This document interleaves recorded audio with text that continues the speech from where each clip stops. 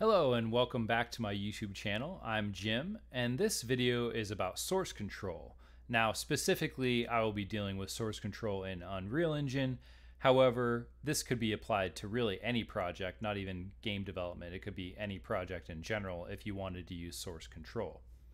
A common question I see is I want to collaborate on a game with my friends. And how can we do that? How can we all work together on the same project? Now, there are many ways you could do this, but I would argue the best way is by using some means of source control. So, what is source control? Source control provides a lot of functions to a project. However, these are just some of them that I wanted to highlight.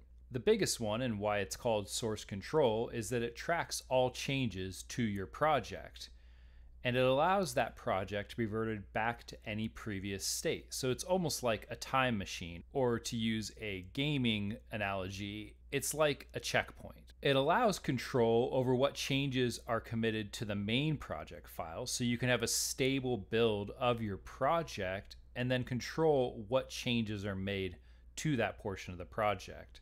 And it does this using something called branches or a branching hierarchy. And the last two points are really highlight what the point of this video is. It allows multiple users to collaborate on the same project by using a remote repository. And it allows multiple users to work on a project at the same time. This is really the reason why a lot of people use source control, but I would argue that having control over the project files is arguably the most important part of it. And as a caveat, this video will not go greatly in depth into source control. For the sake of keeping the video short, I just wanted to stick to how to get it set up on your project. If you're interested in knowing more about source control, I highly recommend Stephen Ulibarri's course on Udemy, the Ultimate Git course with applications in Unreal Engine. This will teach you pretty much everything you need to know about source control, and Stephen is arguably one of the best teachers in game dev on Udemy, so I highly recommend this if you want to take a deeper dive. For the sake of keeping this video short though, I just made a quick diagram that shows the basics of what it is. So let's start by discussing the remote repository. The remote repository can exist in a variety of places, and technically it could even exist locally on your machine and you can allow other people to access it. But in most cases, you're going to be using some means of backing up the data to a remote location, and that is the purpose of the remote repository. In every repository, there is always a main branch. From the main branch, people can make other branches and you can have a variety of branches. You can have one branch for each person, you could have one branch for each gameplay functionality that you're programming. You could have multiple branches for multiple things. You could have branches of branches that then could be merged into the branch that then is merged into the main. So you really can choose the hierarchy that works best for your project. But the point is, all of those branches ultimately will report back to the main branch. And then on the right side, you have local repositories. Now, one thing I just want to make clear is that your local repository becomes a copy of the remote repository. So whatever exists on the remote repository, you're going to be downloading to your local machine.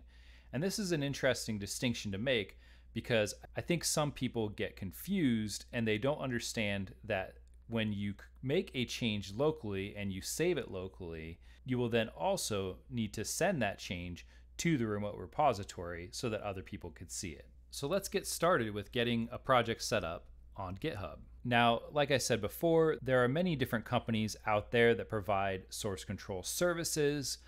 I personally like to use GitHub, but there are a lot of different ones that offer the same functionality. Another big one is Perforce but that one's a little bit more of a deeper dive. I may do another video series on how to set up Perforce in Unreal Engine, but that may take more than a couple videos to break down all the different parts. For this one, I thought GitHub is a good place to start. It's relatively easy to get set up on a project, and you can start collaborating right away. So the first thing we're going to do is we're going to go to github.com, and you'll see I'm here. We're going to click the sign in or sign up button, depending on whether you have an account or not. After you've made a GitHub account, the next thing we're going to do is we're going to download the GitHub desktop client. It can be found at desktop.github.com. You'll want to download that and install it on your PC. The first thing I want to go over is how to connect to an existing GitHub repository. So this is a repository that already exists on GitHub and you want to connect to that remote repository. From the GitHub desktop, we're going to here where it says current repository, select this arrow, select add, and then clone repository. Now, if it's a repository that's yours, then it will actually appear in this list. Or if it's a repository of someone that you're following, you can see here that I follow the Epic Games account. So we can see some of their repositories as well. If it doesn't show up in this list, you can select URL. And then from GitHub, you can select this code drop down and you can copy this URL. Paste it in here and just make sure that you select the path that you want the repository to be sent to to create a copy of. And when you're ready, we'll hit clone. So this repository is empty, but if it wasn't, you would be able to download all of the files from that repository and have access to them on your PC. So let's say you're starting from scratch and you want to create a new project on GitHub. When you are on your GitHub account, you'll select the repositories tab and then select new. It will ask you to name your repository. So for this one, we'll put GitHub tutorial. You could provide a brief description if you want. Select whether this should be a public or private repository. You can add a README file if you want to put some information about the repository for others to read. An important step here for Unreal Engine is to add a git ignore file, and we will type Unreal, and we'll see the Unreal Engine. This is just an example of the Unreal Engine git ignore file. Essentially what a git ignore file is, is it tells Git, or GitHub in this case, what files you do not want to be part of the repository. Whenever you are creating a project in Unreal Engine, there's a lot of files that don't need to be shared to others because when you first compile the project, they're remade locally, so you don't need a copy of everyone else's local files. You could just send the important stuff over and this will also help keep your repositories small. Unreal Engine's projects can get rather large, especially if you're using a variety of marketplace assets or, you know, large assets. So doing this will allow you to keep it a little bit smaller so you're not having extremely large repositories on GitHub. We can choose a license if we would like as well. Now, we don't really need this. Uh, you can read about what these licenses are by clicking the Learn More I usually just select the MIT license. It seems to be a pretty common one. And when you're all set, you can collect Create Repository. And here's the view of our repository from GitHub. We can see here that we have our git ignore file and our license file, and that's all that's there for now. Now, arguably the most common application is you already have a project you've been working on and you realize I would like some help or I would I want to collaborate with someone on this. So in most cases you already are going to have an existing project that you want to put into GitHub. So how do we do that? To demonstrate this, I've created a project based on one of the templates in Unreal Engine. We can see it here and it's called My Project 2. Very original. And also, I've cloned the GitHub tutorial repository that we just made on GitHub to my machine. And we can see that this GitHub tutorial is currently empty with just the couple files that we made. Now, there may be a better way to do this, but I found the simplest way is to grab all the contents of your My Project file, copy them, and just paste them into the repository folder. When we go back to GitHub, we'll now see that all of these files have been added over here as changes. And this is a good time to talk about committing changes. So a commit creates a change to your local branch. Another way of saying it is a commit is one of those checkpoints. This is a point in time where I want to remember all of the changes that were made up to this point. It's fairly easy in the GitHub desktop all we're going to do is put a summary down here and we're going to say something that describes the changes we made. So added Unreal Engine project files. You can add an additional description. So if one sentence can't summarize it, you can put a list of things or a paragraph. You don't want to write a novel, but make sure there's a decent description of what was changed. And then we'll select commit to main. This may take a while when you're first uploading a project file because there's a lot of information to push all at once.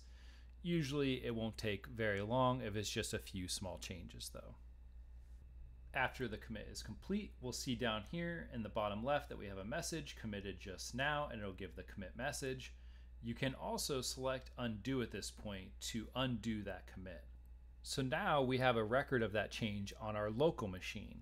What we want to do next is send them to the remote repository. And this is done by something called a push. And again, the GitHub desktop makes this very easy. We can just select push origin. And we'll see all those files are being uploaded to the remote repository now. Now, just like pushing or sending information to the remote repository, we can also receive it or fetch it. To do this, we'll select the Fetch Origin at the top of GitHub Desktop, and you'll see here that we are actually pulling down some of the changes. And we got a message that says pull one commit from the origin remote. And it says that our current main branch has a commit that does not exist on our local machine. So what I did here is I went to another PC and I made a change to our project and I committed that and pushed it to the remote repository. And now on this PC, I can see that change and I can pull it down. So I'll select pull origin. And in GitHub Desktop, you can always see the history of all the changes by going to this history tab. And we can see here that there was a commit that says, I made some things purple. Now, I purposely made this vague to show an example of a poor commit message that doesn't really give people information about what was changed. It just says, I made some things purple. And we can go in here and we can look at what changes there actually were, but it would be much better if there was some more specifics in this commit message. Regardless, we can still see these changes here. And here's my project before, and here's my project after with that change that was made on the other PC. And we could see that I created a new material that's purple and I colored a few things in the level purple. It's very important that you fetch those changes at the beginning of every work session so that you're not also changing something that someone else changed in a previous commit. You will get what is called a merge conflict, and we'll discuss that in a bit. But a merge conflict is basically the repository saying, I have two copies of the same thing. Which one do you want me to keep? And in that case, you have to select one or the other, so someone may end up losing a lot of their work. And one way to at least mitigate this is by using branches. What a branch does is it takes one of those commits and it creates a new timeline based upon that commit you can then make changes to a branch without affecting the main branch and then merge those changes back into the main branch at a later time. So to create a branch, we'll select where it says current branch here and we'll select new branch. You can name your branch whatever you want Usually you'll want to name it based upon a feature that you're working on, or in smaller projects, you could even maybe just name it by your personal name. So I'll call this Jim's branch.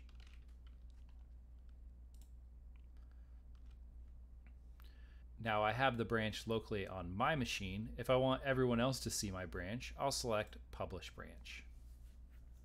And now here I'll see I am in the current branch, Jim's branch, which means any changes I make are only going to be made to that branch and they won't affect any other branches, including the main branch. Again, this is a key part when you first start your work for the day to make sure that whatever you're making those changes, you have the correct branch selected so that you're not making changes in the branch that you don't want to. So I'm in my branch now, and I decide that this purple is just way too bright and way too shiny. So I'm going to make a change, and I will adjust the roughness to 0.8. And that purple I think should be a little bit more blue and have a little bit less saturation. Tone it down a bit. And I think that looks much better for this level. So I'm ready to make a commit. We can see here in GitHub that there's one changed file, and that is my material that I made. So I'll create a commit message and I will say updated purple material to be less shiny. I'll do this commit and push it. Now, everyone else can see my change, but that change only exists on my branch. If I want that change to be on the main branch, I'll need to do a pull request or a merge. GitHub Desktop gives you this handy little shortcut here, which will navigate you directly to it. However, if I wanted to do it manually from GitHub Desktop, all I need to do is select pull request and I, I can select new pull requests, but here it's giving me a little warning again that says Jim's branch has a change.